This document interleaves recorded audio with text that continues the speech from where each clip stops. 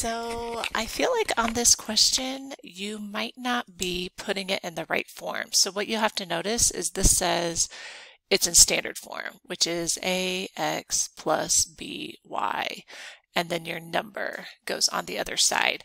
So like if you look at the red, um, I'm going to write it in slope intercept form first. So it is plus 1 for the intercept, and then you're right, the slope is 1, and then to the right 2. And then if we have y, and we know we're shading above, so it's going to be greater. So it looks like you have those ideas here, but I don't know where you got that from. So we need to get rid of the 2. So you're going to multiply all terms by 2 to get it in standard form. So 2y is greater than, those cross out, x plus 2. And then we want to get um, the x by itself, uh, so the x and y alone.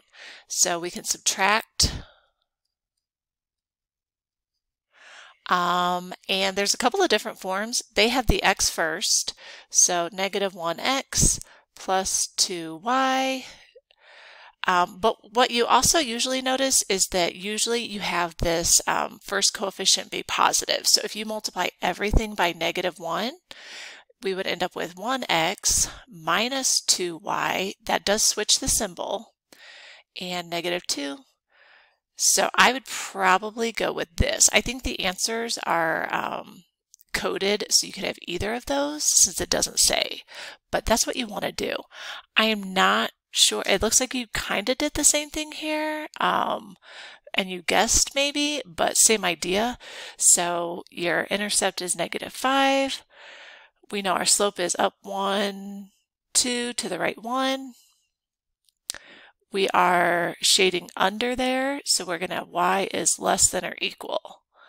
Um, and then same idea, you want to get these um, to the same side. So we've got y minus 2x. I would multiply everything by negative 1. I'll write this first, sorry. And then usually the rules, we don't want that negative. So we're going to multiply everything by a negative 1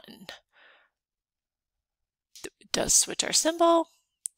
And so that's why that works. Okay.